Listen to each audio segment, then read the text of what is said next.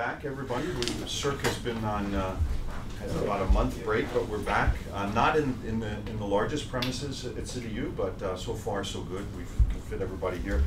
Um, We're very pleased to have uh, Professor Philip Hirsch uh, from, uh, who's an emeritus professor of human geography and School of Geosciences at the University of Sydney. Before I say anything more about Philip's background, it's worth pointing out that he just mentioned to, to Tom and me that they have about 300 members now of the Southeast Asia, Is that Southeast Asia Centre? Southeast Asia Center. We have about 30. So we're flying, feeling slightly, uh, slightly smaller these days. But um, no, Sydney is, uh, is, is got a- an extraordinary strength in Southeast Asian studies, and that's of course good to see uh, in these days, particularly as Southeast Asia programs in other places uh, have, uh, have, have lost staff rather than have so many. Um, Philip is, as I said, emeritus professor at Sydney. He's published extensively on the environment, development, and agrarian change in Southeast Asia, having carried out extensive field work in Thailand, Laos, Vietnam, and Cambodia for a period of more than three decades. And I think that's very admirable to have covered so many Southeast Asian countries. Another issue about our region is people tend to focus, obviously, given language and cultural differences, on one country. You've covered so many. That's um, that's admirable. Your recent books include, uh, with Derek Hall and Tania Li, The Powers of Exclusion: Land Dilemmas in Southeast Asia. Uh, a book, The Mekong: A Socio-Legal Approach to River Basin Development, that was 2016, and the Routledge Handbook of the Environment in Southeast Asia that just came out last year. So again, welcome, and we very much look forward to your talk. Well, thank you very much. And uh, is, it, is it okay if, I speak sitting down? I, I think it's more, keep things a bit more intimate. Um, thanks very much to the Centre for inviting me, to, for Danny for facilitating, and, uh, and for organising uh, everything. I'm going to be speaking about land uh, today. Um, I, I'm never quite sure when I speak to an area studies uh, audience, uh, sort of what's going to uh, click and what's not. But land is one of those topics that does tend to uh, intersect with many dimensions of life and, and academia. So hopefully there'll be something for everybody that you, you might relate to in terms of your own field of research. Before I start, I'd like to just say a little bit about current and, recent uh, work that this talk uh, comes uh, out of. Um, uh, I, I'm currently based at Chiang Mai University at the uh, Faculty of Social Sciences at the Regional Centre for Sustainable Development at uh, Chiang, Chiang Mai University. Um, as in the introduction, uh, I uh, left Sydney University after, after three, year, three decades, uh, 30 years. Um, in July last yeah, last year, but I keep an affiliation there and, and with the the centre there. Um, as you mentioned, the centre has got an affiliation of 300 staff who work on and in Southeast uh, Southeast Asia, uh, but it's a bit different from an area studies centre. Uh, such as that which you've got here, in the sense that the uh, staff are all employed, employed by the faculties uh, and schools and departments. So there are anthropologists, medical sociologists, engineers, uh, historians, uh, religious studies people, and, and, and, and so on, who work on in Southeast Asia, who have an affiliation with the centre and a role in the centre, uh, but also uh, a place in, in departments. And this was the, the basic idea of setting up the centre was to draw from the wider, wider university. Um, so I, I keep an affiliation uh, there. And uh, part of the work that I'm drawing on today, uh, taking a regional approach to uh, looking at land, uh, land governance, uh, comes from work that I did while I was still based at, at Sydney, together with a program called the Mekong Regional Land Governance Program, and which I'm currently working on uh, still with Chiang Mai University, which hosts a resource hub on uh, land governance and runs various uh, programs, including an annual summer school on land governance uh, for young academics and also from NGO and other uh, practitioners and activists around the region uh, working on on land.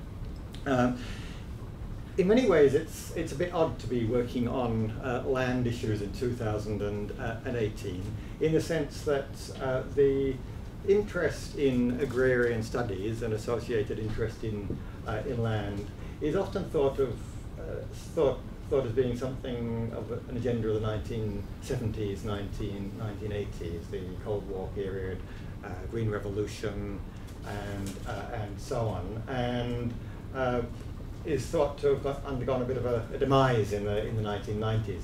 Uh, but there's been this sudden re, uh, rekindling of interest in, in land, which lies behind not only the academic work that we're doing, but also programs that are funded by development assistance uh, donors uh, and that are also associated with civil society and governmental programs in the countries I'm going to be talking about. So this is uh, one, one of the things that lies behind this idea of uh, revisiting contexts and rethinking concepts. It's to say, well, how is something like land, which uh, seemed to go through a bit of a hiatus or a demise in the 1990s uh, uh, to 2000s, what's, what's brought, it, what brought it back?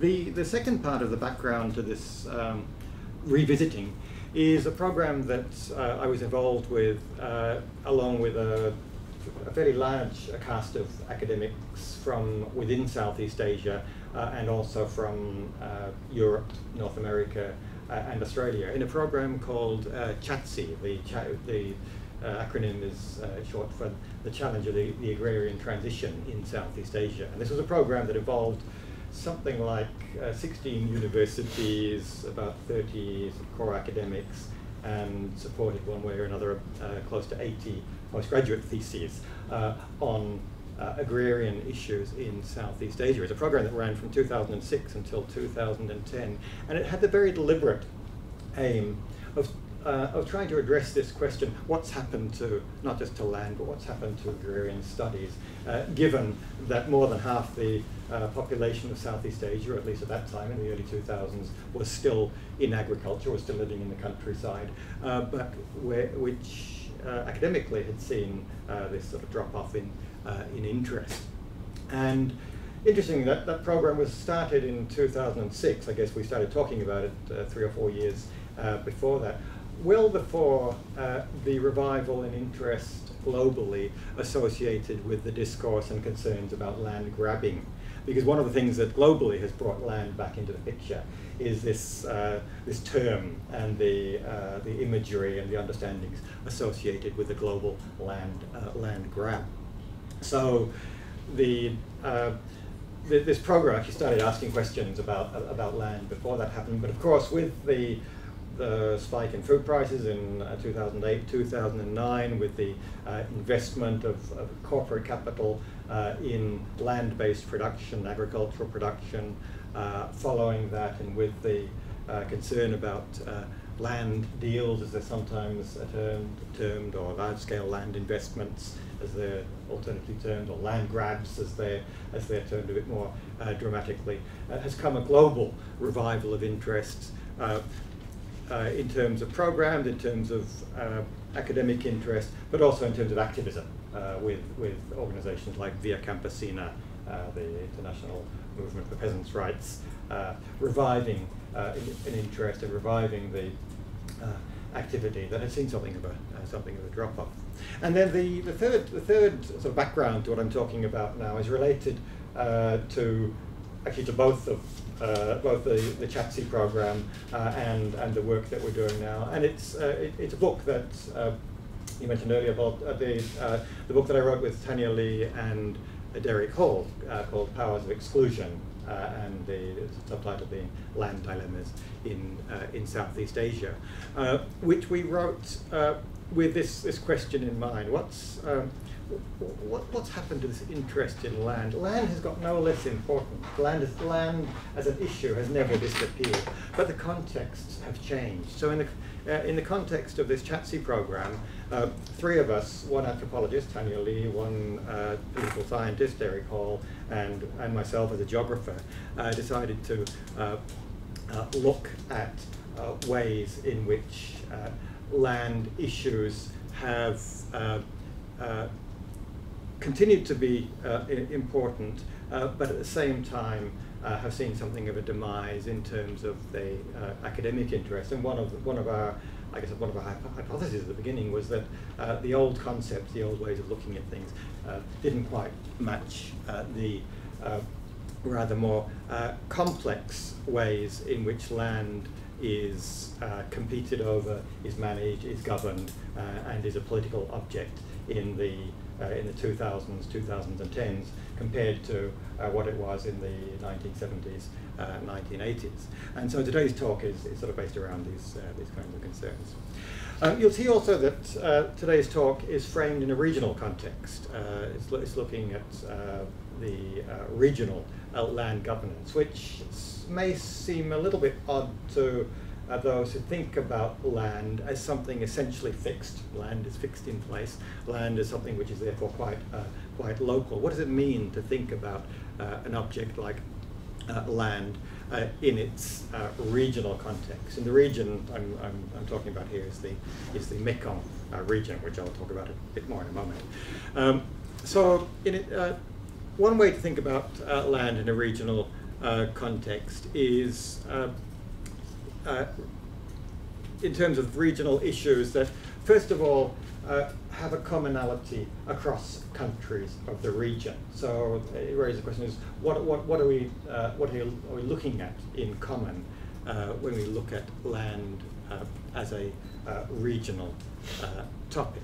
And there are all sorts of things we can look at. I mean, the the sort of basic geographies of rice based lowland rice-based productions and up, upland shifting cultivation may be one way in which we can look at commonalities of the way in which land has traditionally been uh, used in agriculture across uh, the region.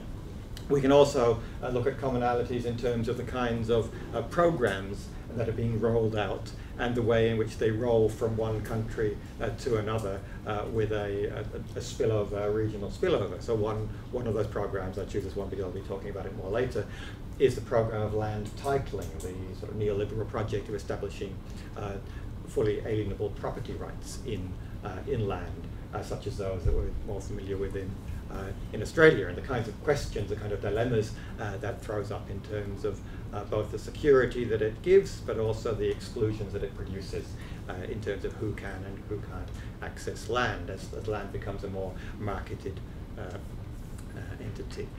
Um, a second way in which we can think about uh, land as a regional object is to think in terms not so much of commonalities, but in terms of linkages and flows. That is, the uh, flows in particular of capital and uh, regional investment. So if we look at the patterns in the uh, Mekong region, uh, we see in a kind of regional microcosm or a regional uh, sample of this trend towards large-scale land deals with international uh, financial capital uh, flowing across borders for investments in uh, in large-scale uh, land land deals. And very crudely, in the Mekong region, we three we see three countries with uh, surplus capital or capital uh, in corporate entities based in those countries in the region, that is China, Vietnam, and Thailand, interested in and investing in the land resources of the uh, capital short, but sometimes assumed to be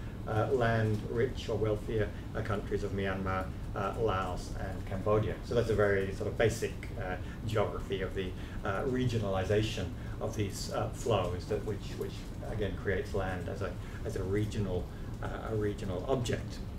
Um, and then we can uh, think about uh, regional initiatives, which also have implications for land. Uh, the Greater Mekong Subregion, uh, program that was initiated by the Asian Development Bank, by the ADB in the early 1990s, uh, with the uh, opening up of the formerly socialist economies of Indochina, of Laos, Cambodia, and, and, and, Vietnam, and the rather different uh, kind of opening up uh, in the early 1990s of uh, Burma or, or, or, Myanmar, as we, as we, call it now, um, to foreign direct investment is, is, is, is something which took shape as a, as a, as a, as a program with uh, economic corridors and uh, infrastructure, uh, and also the idea of creation of special economic zones, all of which have in, uh, implications locally as well and, and, in, and in border regions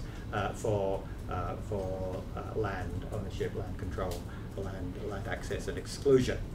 Um, and then we can also uh, see various uh, civil society organizations or international donor initiatives uh, like uh, the Regional Community Forestry Training Center, which has a number of programs in uh, customary land uh, tenure, which is also taken up as, a, as, a, as one of the major themes now by the Mekong Region Land Governance Program. This is a program funded by the, initially by the Swiss government, by SDC, uh, but now also by the governments of Germany and, and Luxembourg, uh, to try to, uh, to, in, in, in principle, try to uh, create secure, more secure access to land and, and rights over land by those whose uh, security over their uh, land holding has been, has been diminished. That is, the, uh, that is ethnic minorities, the rural poor, smallholders, women, and, and other groups deemed to be under threat by, the, by these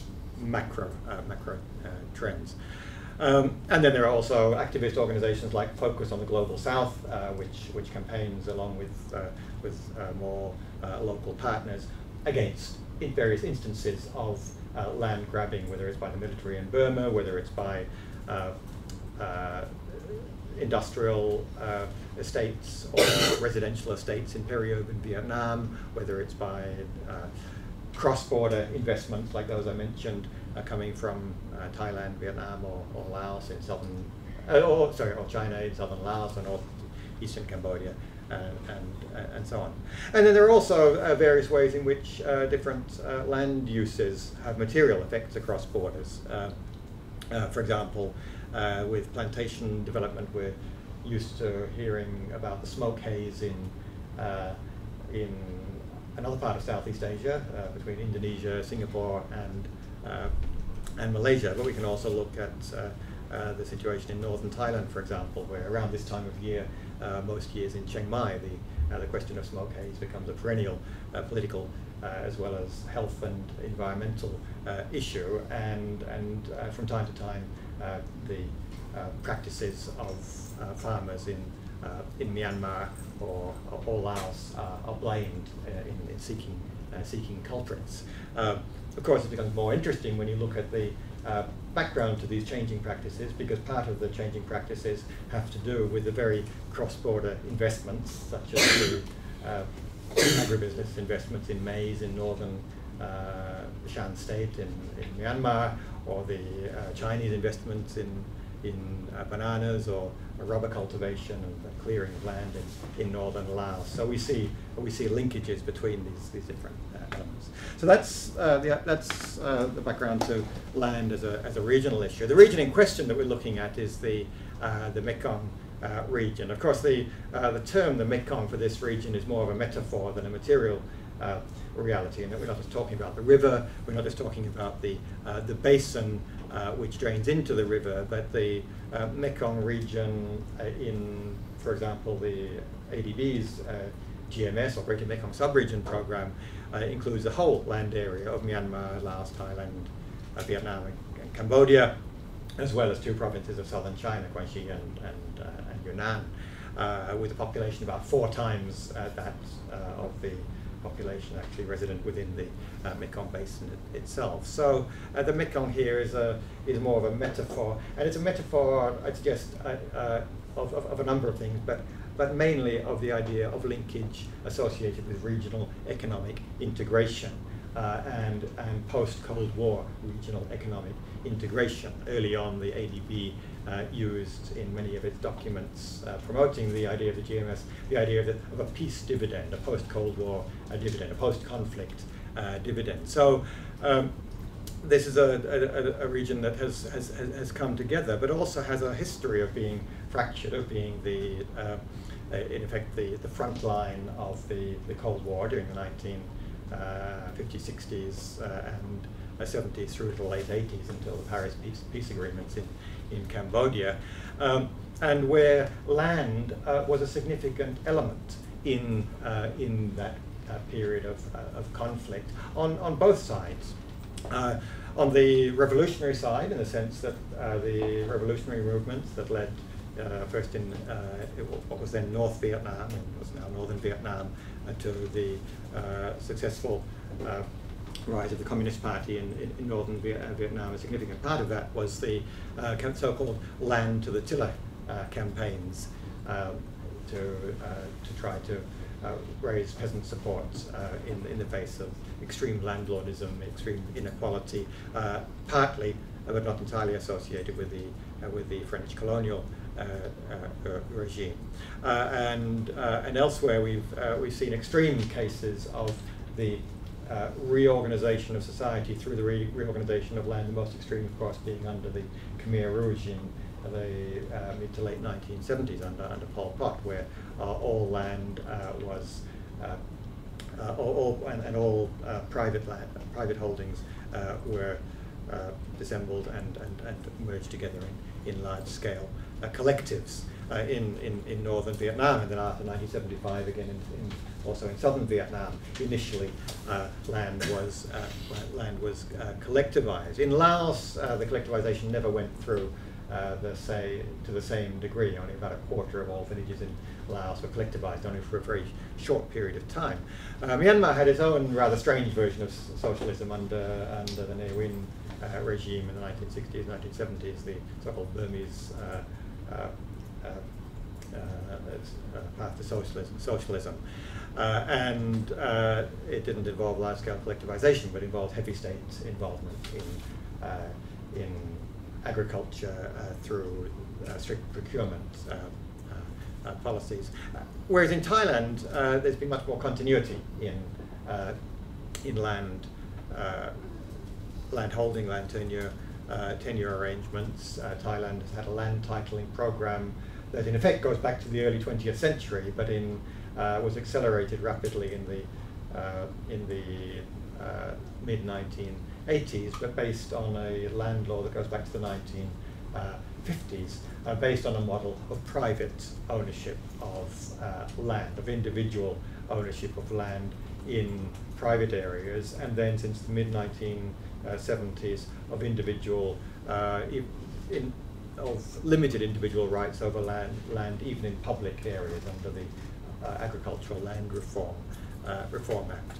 Since the uh, end of the uh, Cold War, there's been a series of uh, series of reforms since the early 19 well, the late 1980s, early 1990s, in the formerly fully socialized economies, uh, there's been a return, rather like in China, to a household responsibility system, uh, to an individualization first of agricultural production and uh, eventually uh, of a, a, degree of, of land titling, uh, partly through uh, international programs funded by the World Bank and with the assistance of the Australian government, and partly, partly through, particularly in Vietnam, through domestic programs of return to uh, peasant-based uh, household farming on a, on a small holder uh, model of, uh, of production, uh, given, given the crises in, in collectivized production. So that's these are some of the commonalities and, and, and trends, and also this is something which shows the convergence of agendas in,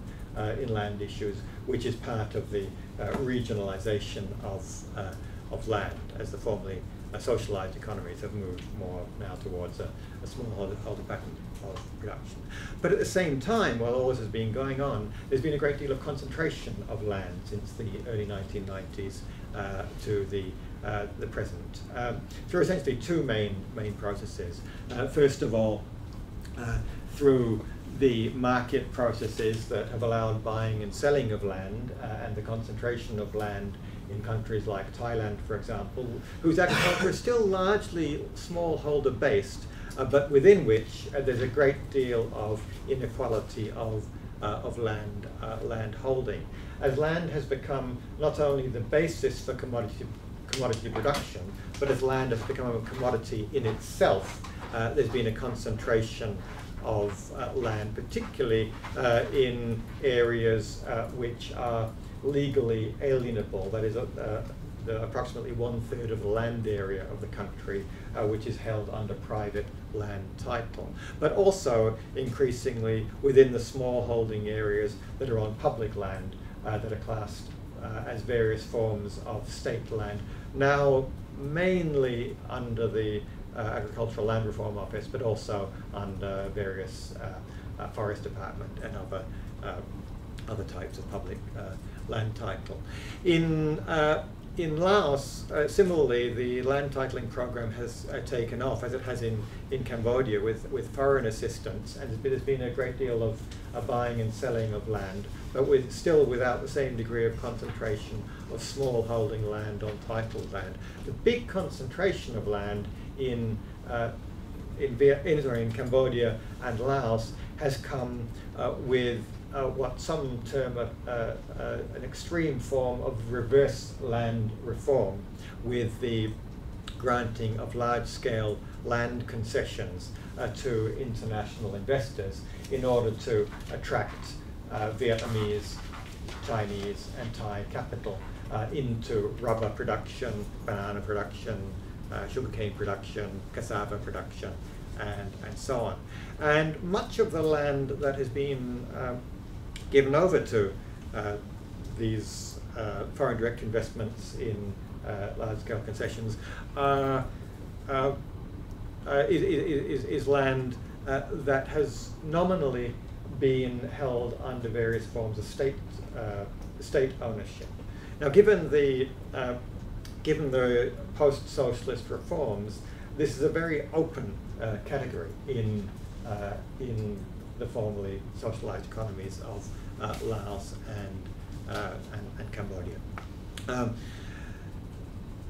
I'll move on uh, now to, uh, to uh, go back and look more specifically at uh, the ways in which the, the, the way in which land has been studied have changed over time. And what I'm going to do is, is talk about two main, two main things. Is to talk about the, the, the, the changing uh, paradigms uh, that have, uh, have characterized uh, interest in uh, land associated with events over the, this period of time. And then sec secondly, I'm, go I'm going to go back and look at the same different periods and look at the uh, conceptual underpinnings of interest in land to try to uh, relate how these changing contexts uh, of, of land associated with these paradigms uh, have uh, demanded a, a conceptual rethinking of the way in which we understand land, particularly in a situation of a move away from largely agrarian heavily subsistence-based production to a much more complex uh, set of interests in, in land.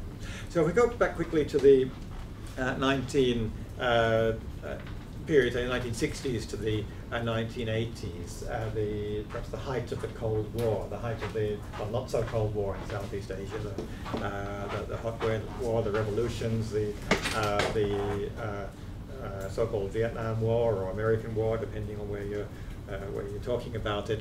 Um, during this period of time, there are two main, main contexts uh, that we can look at uh, for this paradigm of land as a basis for agrarian conflict.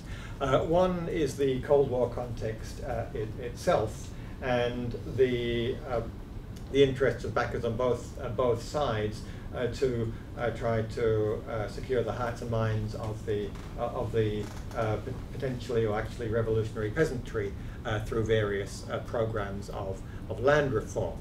Uh, the second is the context of the Green Revolution, which isn't uh, itself totally unrelated to the Cold War context, uh, given that the Green Revolution, uh, as promoted through the International Rice Research Institute, through IRRI, was in, its, in itself partly a Cold War a project of the US government and, and, and, and US-based based foundations to try to raise the, the standard of living in Southeast Asian countries as a preemptive move against the uh, spread of, of, of, communism in the country, countryside.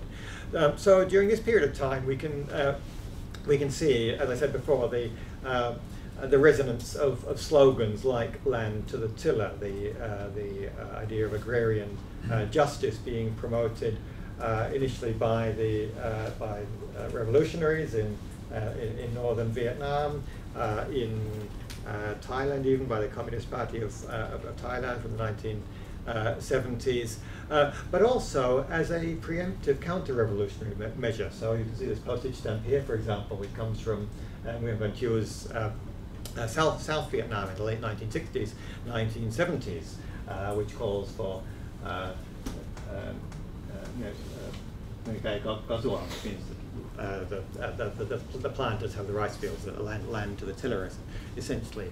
I put up this, uh, this slide here uh, just by way of sort of interesting contrast. This is actually jumping, uh, jumping up to almost the present. This is a, uh, a land protest in, in Vietnam only three or four years ago, and it uses a very similar slogan. it says, return land to those who, who, who plant it, those who cultivate it, return, return land to the tillers, in effect. And this is the, the context of this is uh, the context is actually behind most uh, current land disputes in, in Vietnam, which are not about agrarian land relations per se. They're about the seizure of land uh, for conversion of peri-urban uh, areas uh, for industry, for infrastructure, for housing estates, for golf courses, uh, for, for, for tourism, which trigger the sense of injustice in a country where uh, marching like this is not it's not straightforward and, and it's not it's not it's not a safe a safe process and yet which has been uh, where concerns have been sufficient to bring to bring uh, people out. I, I gave a talk by the way in, in at a regional forum on land uh, in Hanoi a, a, couple of years ago, and I was going to put up this slide, but I was asked to keep it off the uh, off the screens uh, in the uh, in the interest of the safety of the um, or the comfort of the of the conference organisers. So this is actually a very sensitive issue uh, still in Vietnam. It's partly because it has this has this resonance back uh, to this this period of time, but it's based in in a very uh, more uh, diverse and complex set of interests uh, inland. Um, I think this publication, some of you may be familiar uh, with it, it's a, it's a, kind of seminal publication uh, from this uh, period. It marks the culmination of this interest in land as a basis for agrarian uh, conflict. It was published in 1989. It's called Agrarian Transformations, Local uh, Processes in the State in, in Southeast Asia. Um, and it's, it's a culmination partly because it was such a, uh, a well-received and comprehensive book based on, on four countries, four countries that had been uh, through largely market-based uh, trans transformations, Malaysia, Thailand, Indonesia and the uh, and the Philippines, both with countrywide and, and, and local case study analysis, analyses, but also because it was published in 1989 at this period uh, which uh, marked the, uh, the end of this sort of sharp division between uh, socialist and non-socialist Southeast Asia. Um, and also uh, uh, at a time where the interest turned not only uh, away from the uh, Cold War era conflicts, but also uh, to the interest in the de-agrarianization, de-peasantization. So you may be familiar with Jonathan Rigg's work on uh, the move away from agriculture in, in terms of livelihoods and the diversification, not necessarily people moving out of agriculture altogether, but with urbanization, industrialization, is simply reinforced uh, the interest in other things than agrarian uh, basis for uh, class, class conflict. And in part then this, uh, this uh, also marked the start of what we sometimes call the neoliberal era and, and association of, of land and other political economic, economic issues with the, the rise of capital. Um, the, the term turning land into capital, I'll, I'll come back to this when I talk about uh, some of the conceptual underpinnings here, where the idea of turning land into capital was, was something which, uh, which grabbed a lot of interest in the uh, 1980s, 1990s, uh, partly with the issuing of these uh, or the uh, land titles, the full land titles, private land titles in, uh, in, in Thailand, uh, which saw a massive increase only, from only a couple of million land titles in 1984 to uh, close to 15 million land titles uh, today, covering in, in, in, uh, in the early 1980s, the concern in Thailand was that uh, despite the fact that about a third of the land was defined as private land, only a very small proportion of that had full land title on it, so there was a lot of ambiguity. and at the current rates of, uh, of land uh, titling, land registration, it was, it was going to take 200 years to, uh, to complete the registration. So the World Bank and the Australian government came in with a program which is now almost completely uh, fully titled uh, land, which means that a third of land in Thailand is fully alienable uh, title. Uh, but it also came with uh, a, uh, somewhat later on, for the 1990s uh, onwards, in, in Vietnam and, and Cambodia in particular, um, the interest of uh, government in turning what was seen to be not only an underused resource, but uh, an abundant resource, i.e. land and, and associated forests and other, other uh, resources, but also a resource that was being used in a backwards or primitive way. Uh, as, as something which would be, could be put into the modern economy and could be seen as a, as a source of, of revenue. and, and, and hence the opening up of uh, large areas of land for concessions in Laos up to 10,000 hectares each, but in fact uh, more than that given that many companies simply uh, did deals of a number of uh, uh, a, a, number of 10,000 hectare plots as part of one uh, one larger deal, often doing deals with central government in in the case of, of Laos. The largest of these is of these corporate actors is the is Vietnam, Vietnam's largest private enterprise, which is the originally real estate based, but now also agribusiness company, the Hoang Anh Gia Lai uh, company, which invests in uh, in rubber, in um, in coffee, and in other uh, in other commodities uh, in southern Laos and northeastern uh, Cambodia, um, at the expense of shifting cultivators, of farmers uh, who have traditionally uh, used that land, but who have not had uh, rights over, over that land. And with this in mind, there's also something which uh, I guess makes me and some others wary about uh, going too far with the use of post-socialism as a way of characterizing uh, the changes since the late 19 80s, uh, early 1990s, when we talk about uh, these economies, particularly in Laos and Vietnam, which remain one-party states. Uh, but it, it isn't only the, the fact that these are states that are currently still, like China, of course, under one-party communist rule, but with largely market-based economies, there's also an uh, ideology of socialist modernization that has persisted uh, and which is, is also uh, behind the, the, granting of any activity which will modernize, which will, uh, which will eradicate primitive or practices that are seen to be backwards and environmentally uh, destructive and non-modern, such as shifting culti cultivation. So this lies behind uh, many, uh, many of the, the conflicts. Um, then there's also uh, not only investment in land concessions, but also land-hungry activities such as mining, uh, hydropower development in, in Laos in particular, but increasingly in, in Cambodia uh, and in Myanmar uh, as well. And the process of, uh, as I mentioned before, of regionalization, the uh, movement of capital across borders.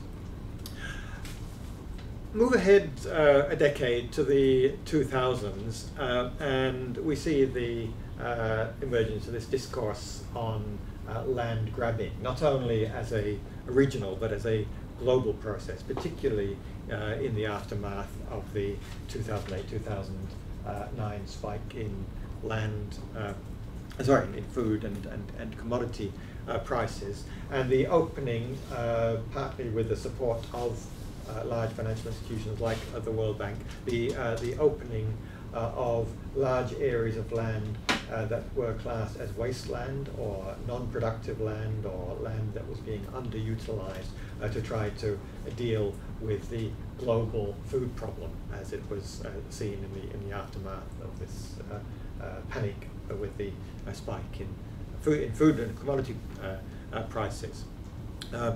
So we can see this uh, global land grab in terms of land deals, and certainly uh, some of the land deals that I uh, mentioned just now, uh, for example, with companies uh, from Vietnam, also companies uh, from Thailand, such as uh, Khon Kaen Sugar, which invests in in land deals in, in Cambodia at the expense of smallholders who are kicked off their land to give to give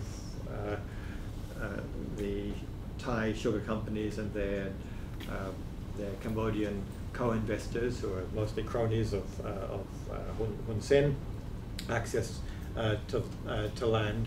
Um, we, uh, we see these land grabs, but we also see a much more complex situation. So there's been something of a, the rollback of the, uh, the use of the term land grabbing or, or problematization, problematization of the use of the term land grabbing uh, in the uh, Mekong uh, region, uh, given that uh, not all of the alienation of land from farmers takes the obvious form of large-scale corporate investments across borders. First of all, a significant amount of the alienation is domestic in origin, either as part of joint ventures uh, or in Myanmar particularly with a history of, uh, of military uh, grabbing uh, and, and the ambiguity in uh, whether such grabbing of land is for public purposes, that is for genuine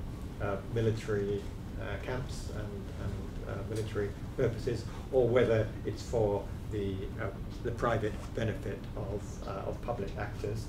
Uh, or in, in the case of Cambodia, where, where much of the uh, much of the large-scale investment of, uh, of, of, land has, has, actually come from uh, domestic supporters of Hun Sen, the so-called Oknya, or the, the wealthy tycoons who are the collaborators with uh, with, with, with, Hun Sen. So, so one of the one of the reasons for questioning the, this narrative of the land grab as something which is essentially transnational in character is that there's a great deal of, uh, of local uh, corporate involvement. The second, a second is that not, not all of it is necessarily large scale in uh, uh, uh, large in large in scale. There are many investments, particularly in northern Laos, for example, where we see a massive conversion of the landscape, initially uh, from shifting cultivation to rubber, with the boom in, in rubber in the mid 2000s. Um, and then with the partly with, with the collapse in rubber prices, uh, with, with declining demand or declining growth in demand in China, uh, the conversion of whole landscapes uh, to bananas. So it's very easy to look at a landscape like this and see this as a large-scale uh, land grab, mainly under Chinese capital in, in northern Laos.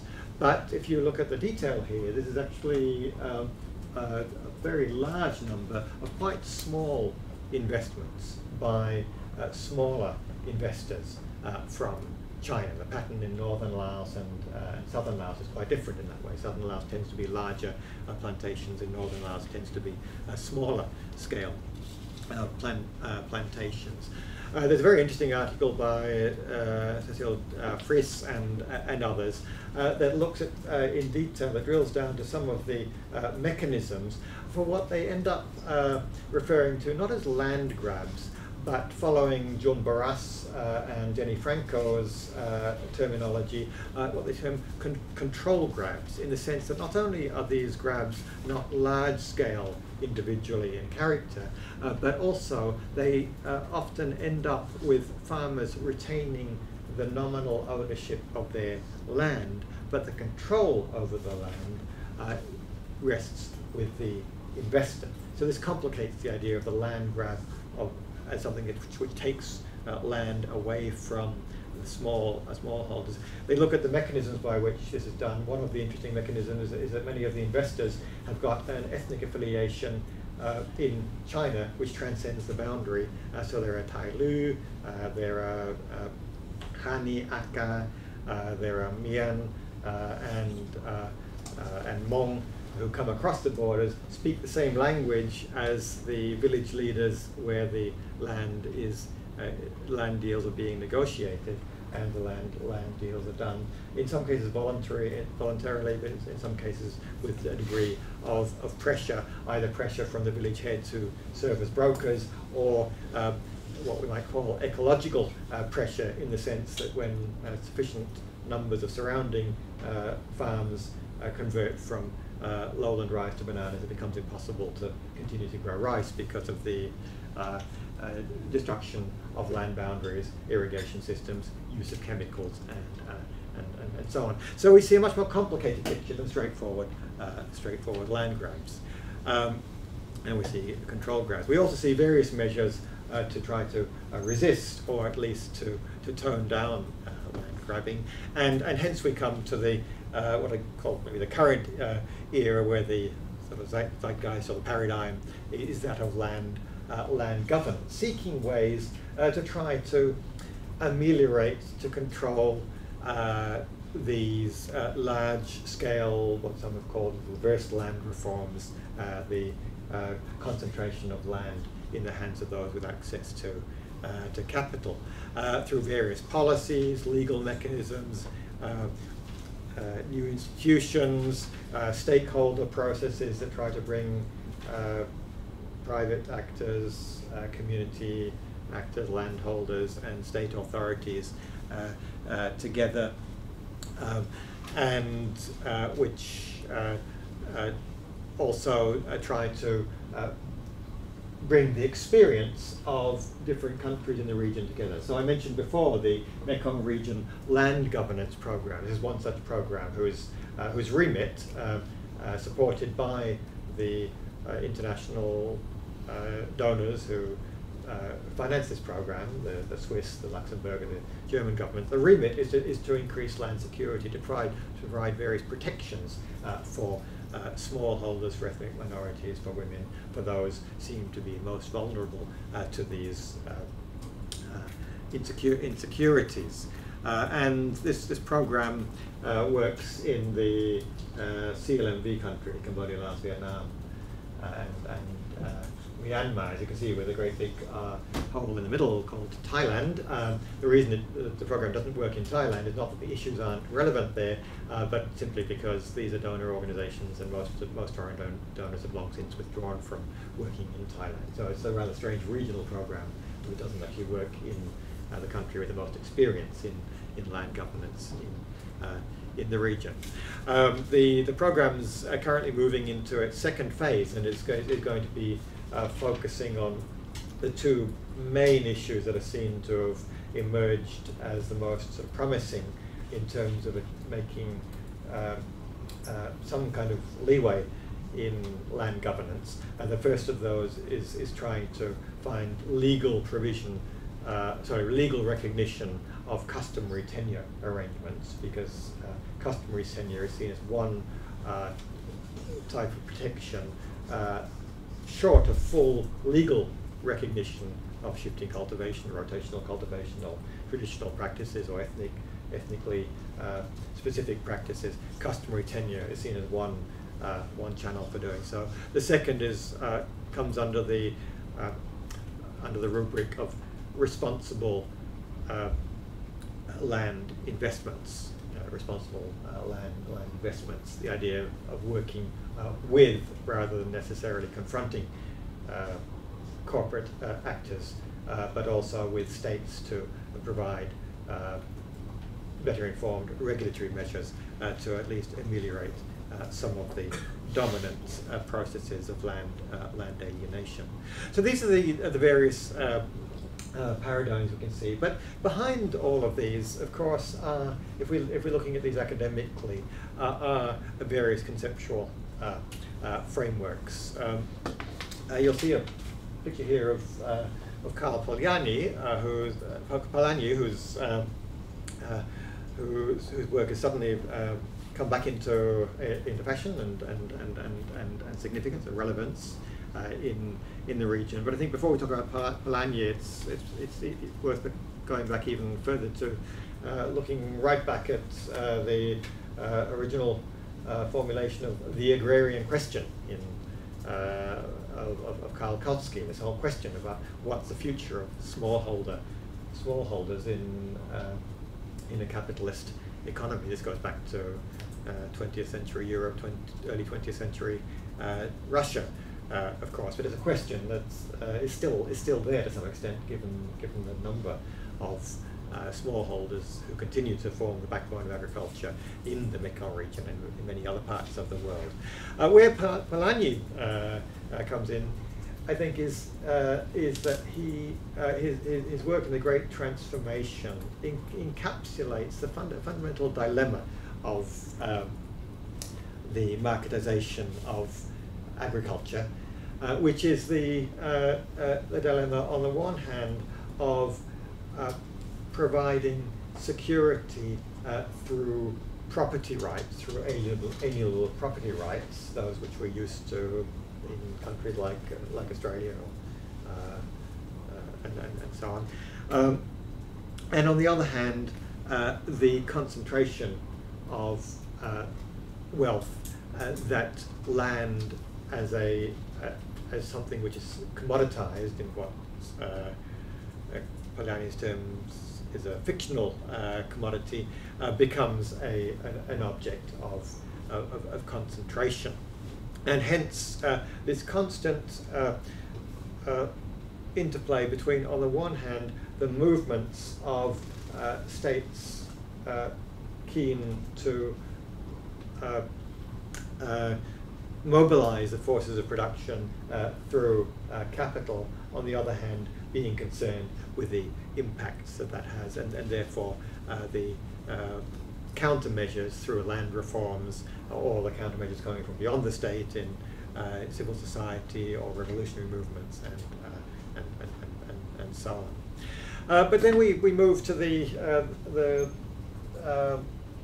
more, more recent period, the, uh, the interest in, in capital, the idea of uh, turning uh, land into capital, which is something associated more than anybody else with the, uh, the writing and influence of the Peruvian economist uh, Hernando de Soto in his book The Mystery of Capital.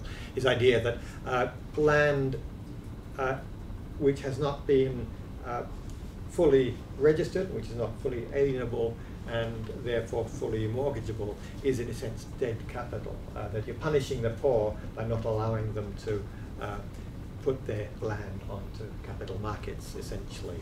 Uh, and, you, and that the way to uh, mobilize the wealth of the poor is to bring this dead capital to, uh, to life as collateral for investment for their own agricultural production, or if they so wish to as a commodity uh, to sell to more productive users of, uh, of land and, and for them to move off and do something else or to invest in their children's education or, or something else.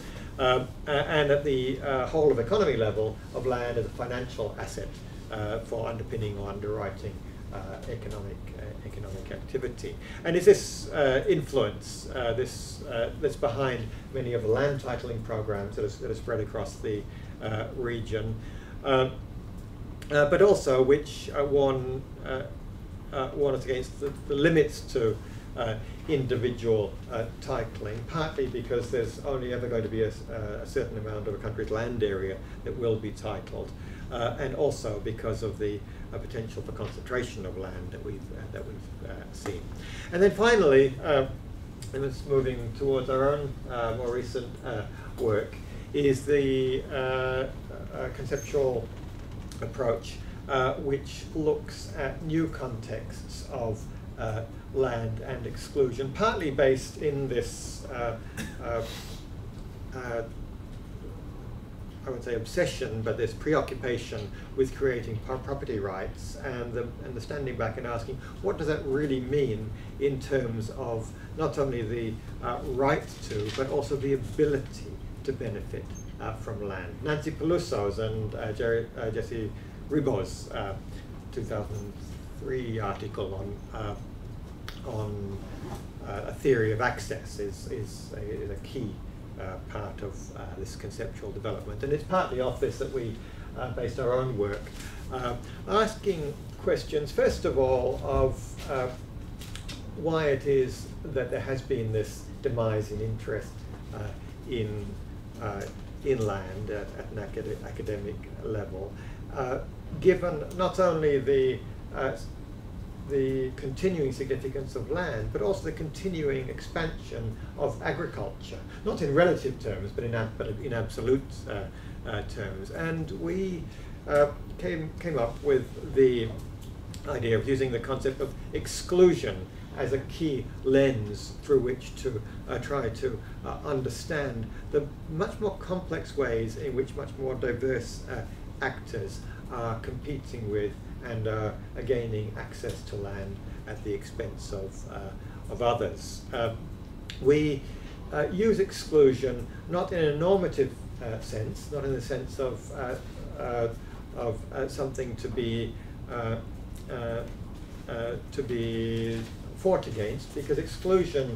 as we see it, is the basis of any kind of productive land use. But rather, exclusion as an analytical category and as something which is always uh, double-edged. One person's exclusion is another. Uh, uh, is a, one one person's exclusion is, is, is another person's uh, ability to benefit from uh, from that thing, whether it's land or uh, or something else. And what we do is we uh, we use this as a way to ask the question: Well, what what is it that gives uh, states, that gives uh, private actors, that gives uh, farmers, that gives ethnic groups, that gives corporate actors the power to exclude others? And we, we look at that specifically within the agrarian context of uh, Southeast Asia, and we look we uh, look at four main uh, powers: that of the uh, regulation, partly but not entirely uh, regulation by the state. We can also see other forms of regulation in community-based natural resource management, in in various other uh, processes. The power of the market, the power of brute force, which we still see in in many cases going beyond the use of law, ex extra legal uh, use of, uh, of, force, and uh, last but certainly not least, the, the power of legit legitimation, the power of ideas about, the, the, if you like, the moral basis uh, for excluding others from land.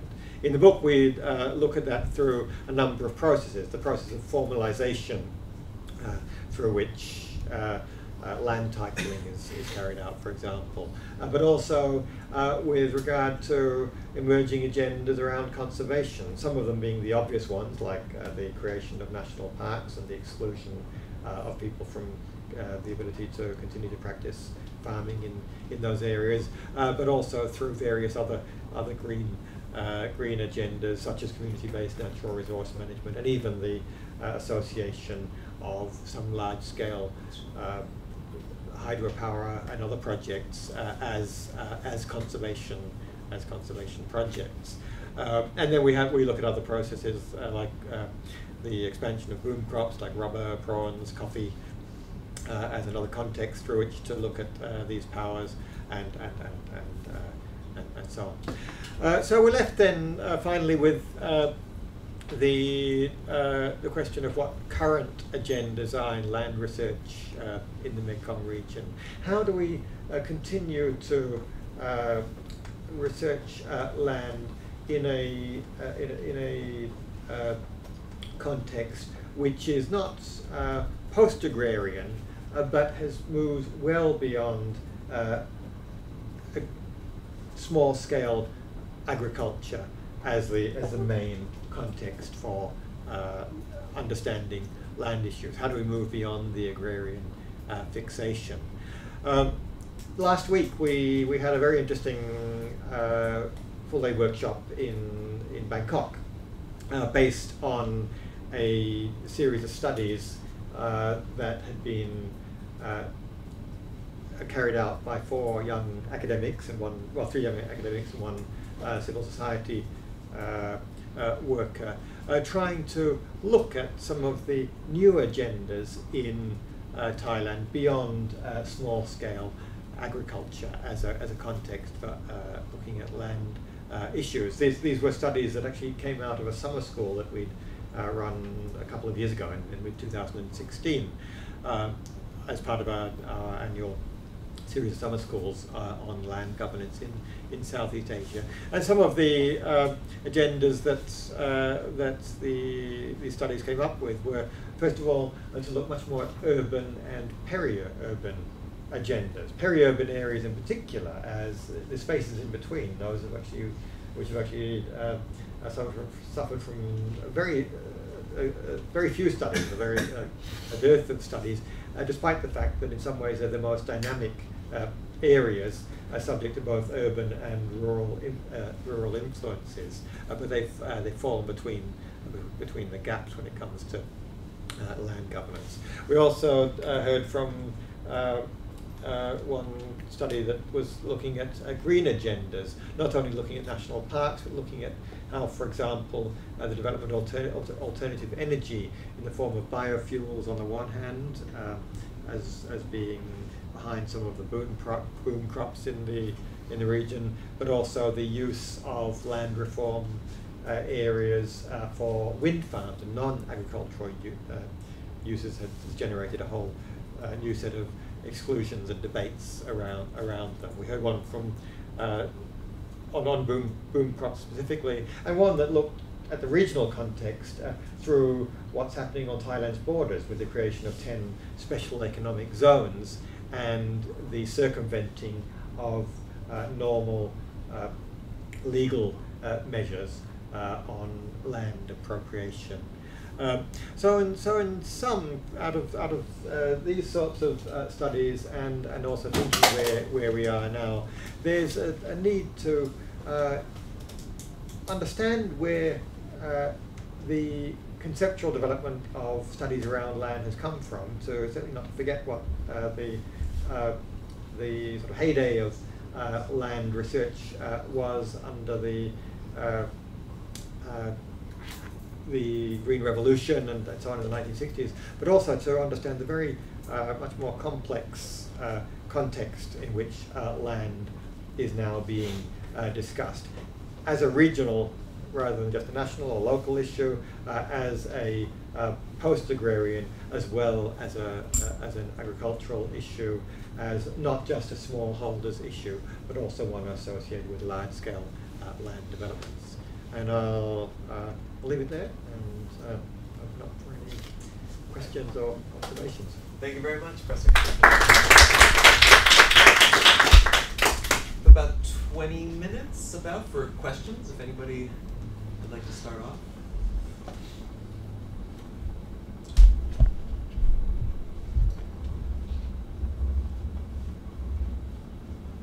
I usually try to sort of link uh, land issues with the place where I'm talking, but I was going to ask you about Myanmar. Actually. Well, well, first of all, I know very little about Hong Kong, and secondly, it seems to me that Hong Kong must be a very interesting place to look at land, and I wonder whether any of these so the questions about exclusion and so on have any resonance in such a different context. So I'm not throwing a question back to you. but yeah, Myanmar. Sure. Yeah, Myanmar, because you were recently there to present at a conference and Man- in Mandalay. Were you presenting on something specifically related to Myanmar?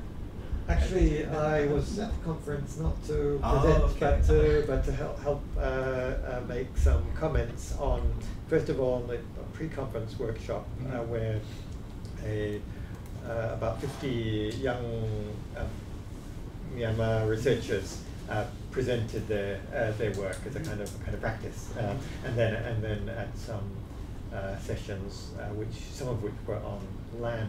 But the other thing which I was doing actually with with with, with, with Tuptim uh, here is uh, that we were running a program on land research for six young researchers working with the Land Core Group, which is an umbrella non-governmental group working with many civil society organizations around the country, uh, and also nine civil society organization uh, staff uh, three from Chin State, three from Shan State, and three from Mon State, uh, who are developing their own, who want to develop their own research skills, very much oriented to advocacy. In Myanmar, more than in any other country in the region, land is the core of mm. everything. It's the core of so much uh, social conflict, and it's also the background of something which I, I, I, haven't had time to mention, but I think it's, it's in some ways one of the most interesting uh, issues common it's very obvious in Myanmar, but it's also uh, over a slightly longer period of time common to the rest of the region, which is encapsulated in a term that Kevin Woods, who writes about Myanmar a lot, has uh, has uh, coined, which is ceasefire capitalism.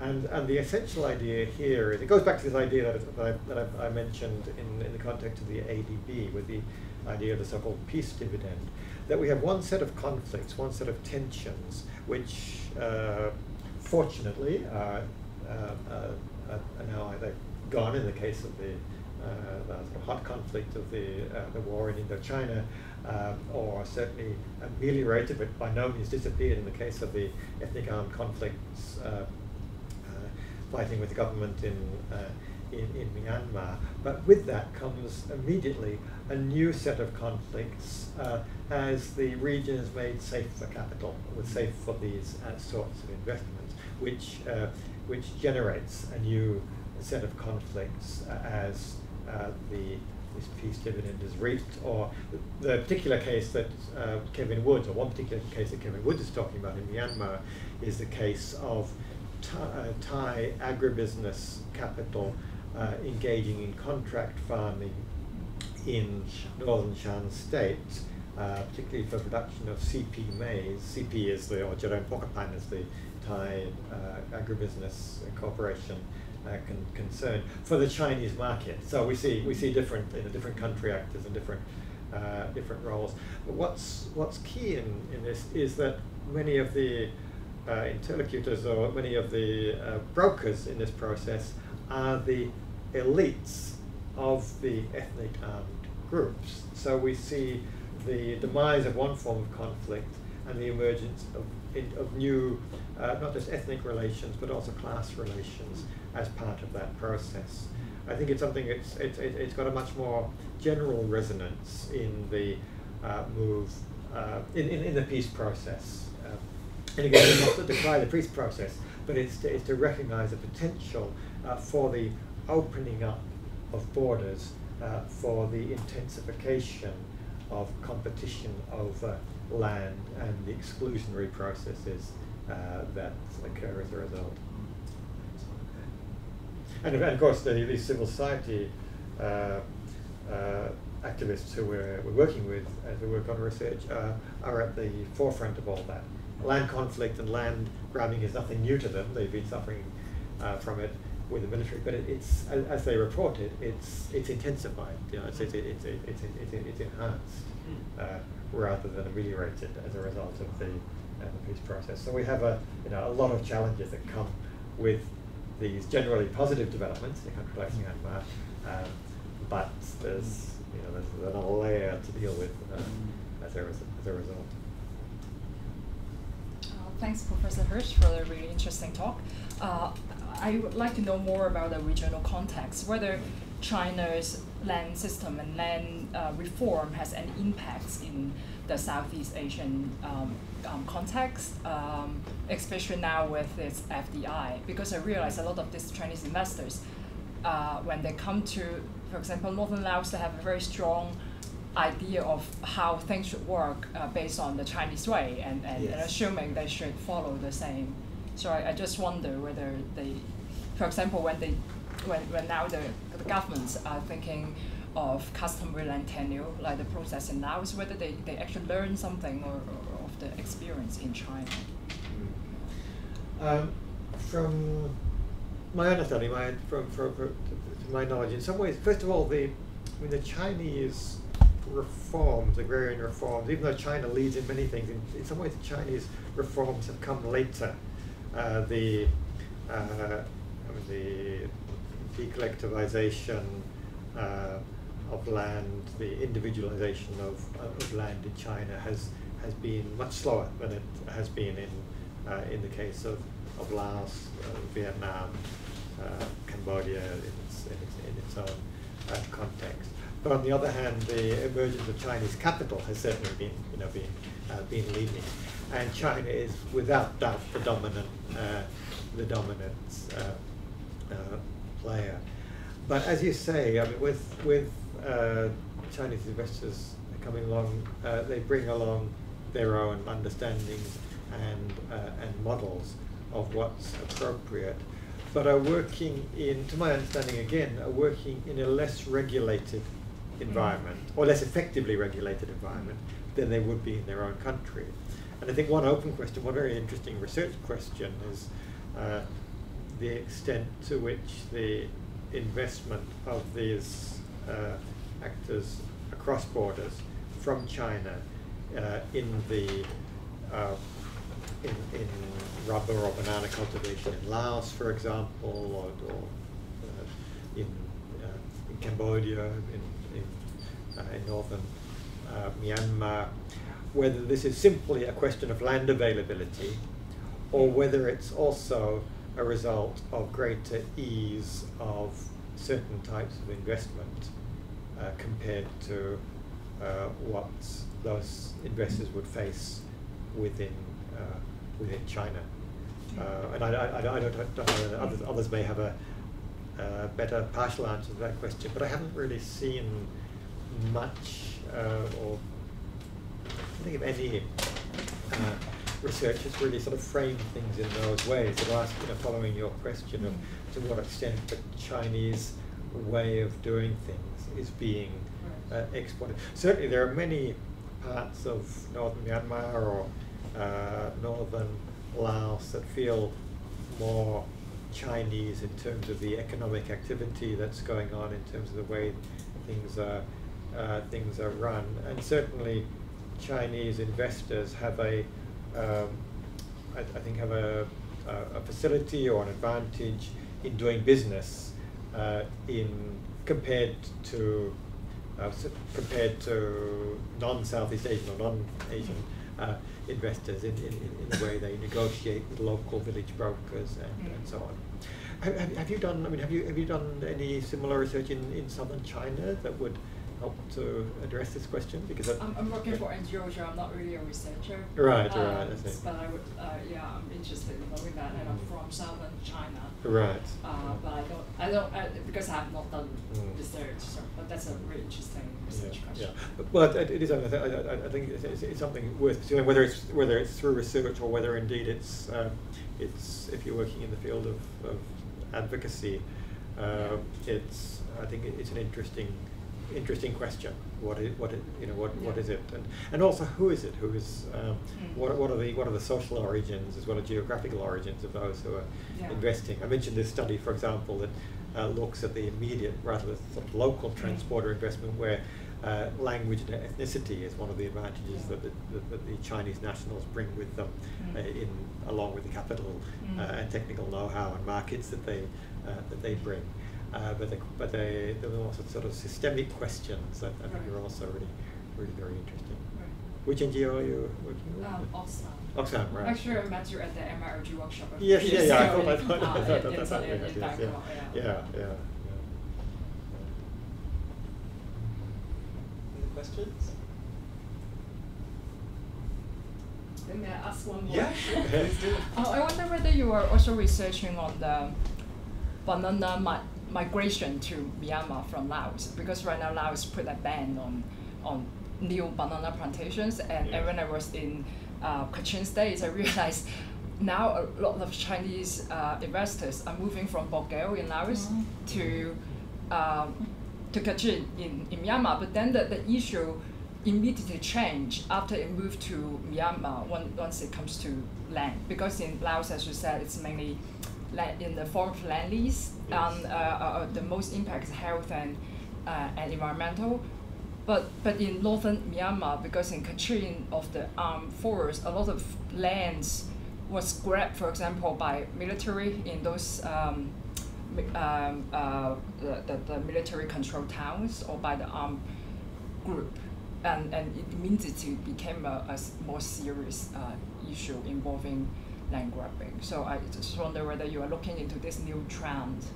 Um, I'm, I'm not directly, uh, directly my, myself, and, and of course, work in Kachin State is extremely difficult. It's more or less off limits to, uh, to uh, for any kind of research, certainly by uh, by, by foreign research, researchers.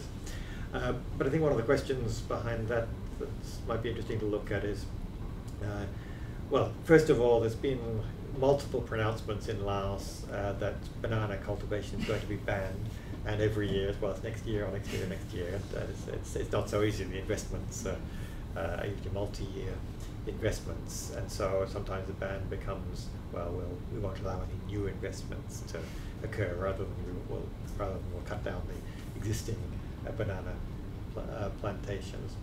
Uh, but the other uh, question behind that is whether the this migration is is simply because of the regulatory uh, measure to ban investments, or whether it's also uh, ecological because banana oh, cultivation yeah. has a it, it, has a shelf life. Mm. And one, one of the huge concerns that is mentioned also in that study that I, that I, that I talked about one of the huge concerns is that when farmers do these deals, brokered often by local authorities or local village uh, leaders, there's nothing in the contract that mentions the return of land to those farmers, even though they continue to hold the, the land, that mentions return of the land in its original condition. Mm. The poisons that are put on the land, uh, the chemicals that are put on the land, mean that it's highly unlikely they're going to be able to go back to the original cultivation. Sometimes they won't. do- uh, sometimes it's difficult for farmers even to know where their original land was because the entire landscape is, Yeah. if you saw from that picture, is re- remodeled. The, the the bunds that define the uh, the boundaries are all uh, uh, are all uh, are all gone. Uh, but the but the question is: Is this simply uh, a kind of um, sort of pioneering uh, uh, uh, form of agriculture where the uh, the land is mined for bananas until a disease comes along and, and then they then they move on to uh, to fresh pastures, uh, or or is it because of the regulatory measures, or is, or is it a bit of bit of both? Mm. And I think I think you probably find it you probably find a bit of both. It'd be interesting also to look at whether it's the same investors going from Laos to. It is. I- I it, it is okay. So, you- so you're fine. Okay, so you, yeah. so you can answer answer this. Are you, do, do you work? I mean, in, in Oxfam, do you do you work with academic researchers following these issues? Yeah, we make, we usually cooperate with uh, national local researchers Mm. like National University of Laos, uh, Mm. La, Labor. Um, And what about what about in uh, in Myanmar? in Myanmar, less because Mm. we found the academic landscape is a little bit Yes, yeah. different. We mainly work uh, with national uh, uh, civil society organizations, but also Land Core Group, uh, Group, which yeah, you, yeah, you, yeah. you mentioned. Yeah. Uh, but, but we realized that the research evidence-based advocacies is uh, less com- in Myanmar compared with uh, Yeah. other countries, and, and we are very interested in Mm. developing that. We should follow follow this up. Yeah, Uh, yeah, sure.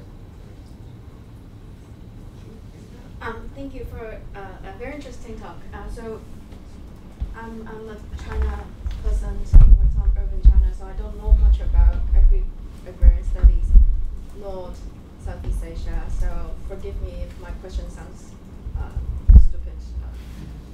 So, one question, es- especially when you mentioned about in the uh, 90s, 80s, 90s, when neoliberal uh, governance or, or style of thinking kicked in, uh, land grab, defined whatever large scale, small scale. To what degree do you think that it's actually a different way of land in relation the land in relations to capitalism, capitalist productions. In comparison, let's say in the industrial times, I'm thinking about the movement of enclosure happens in England, which basically at least on the larger historical usual narr- historical narrative basically kicked off uh, capitalist development Mm. so in the Western society. So are these two in what ways they're similar, in what way they differ, and how does the differences and similarities that will may or may not influence the way we think about land as capital? Mm. Uh, since you gave two examples, uh, one is the fictitious uh, capital land as the uh, debt capital.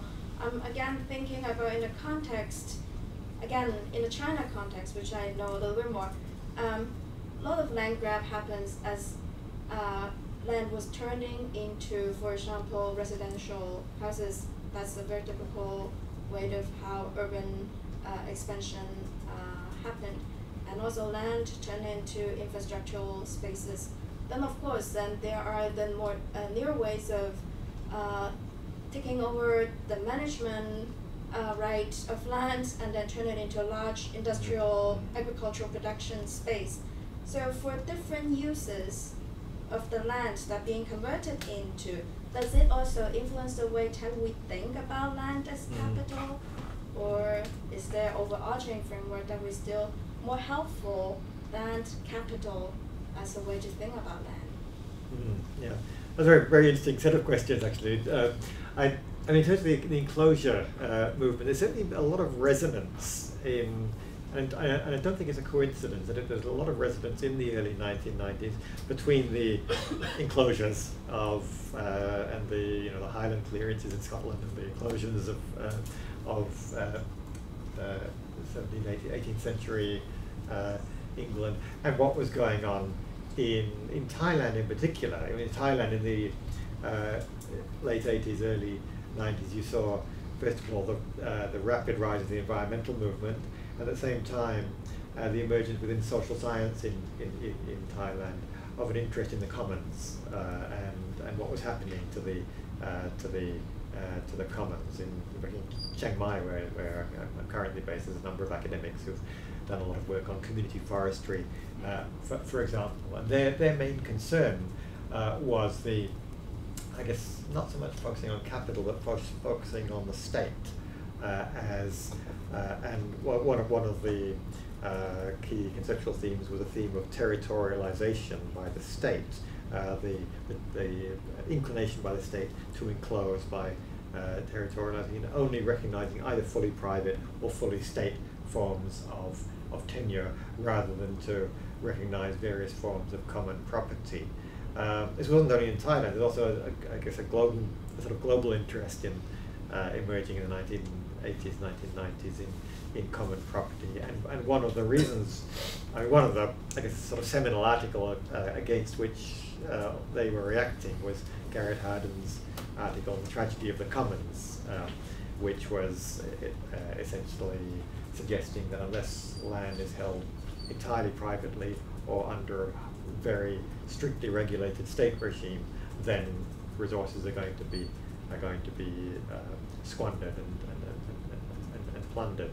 Uh, and the response uh, against this was by this emergence of interest in in, uh, in common property. In Thailand, this took the form of an interest in, in forest areas in particular, the commu community uh, forest movement, but also associated with it was a kind of uh, anti-privatization, anti-titling uh, sentiment or concern that fully privatizing uh, fully converting uh, tenure systems to fully alienable, mortgageable land was going to result in the poor losing their land uh, to the uh, to the wealthy through distress sales and uh, and so on. So it wasn't just about common property. It wasn't just about the commons. It was also about the uh, the concern of the I suppose the sort of nature of capitalist and market processes to concentrate resources, including land, in the hands of those who can use their market power to uh, get them against against the interests of the uh, of, of, the uh, of the poor.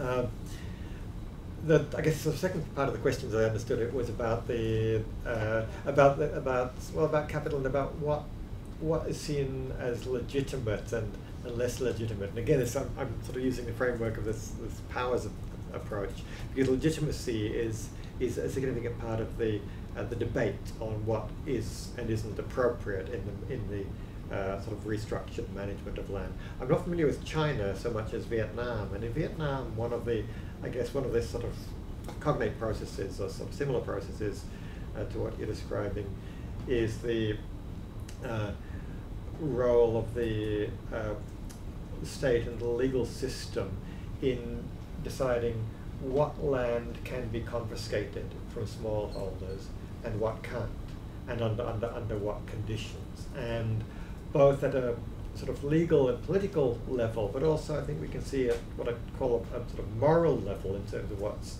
seen as legitimate or, or not legitimate in, in, Vietnam, is a whole question of public and private interest in such conversion. And I would guess that in China this is also uh, not, not, not, a, not a I mean, in, in, in, Vietnam, the form it takes is, is where, is particularly uh, where land on the urban fringes or in, the, in the very densely populated, populated delta areas is confiscated in the name of the public interest. And in some cases, it's very clear you need to drive a highway through uh, somewhere. And even then, it's very, very difficult. There are, there are uh, often protests, and uh, the protests usually revolve around compensation uh, because it's, it's difficult to argue against a, a, highway as being in the, in the public interest. The, the question is simply whether the, uh, those who are losing land are, are being adequately compensated uh, against the market price of land and their, therefore their ability to go and buy land somewhere, uh, somewhere else.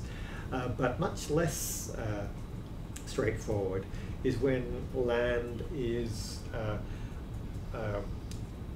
when where land is confiscated the development, for example, of industrial estates, uh, for private uh, investment, for foreign investment, or even domestic uh, industrial investment, or, or, or indeed residential estates, and whether that also constitutes a public interest. And, and there you have the development interest, which is the the one that's usually brought to bear, and that's where a lot of the con- the, the conflict uh, is. One of, one of the one of the most um, dramatic recent land conflicts in Vietnam at uh, a place called Dong, Dong Tam, just south of Hanoi, uh, last year was when uh, the villagers who had lost their land took 38 uh, local police and government officials hostage for a period of time, demanding that, uh, that the uh, mayor of Hanoi come to negotiate uh, with them.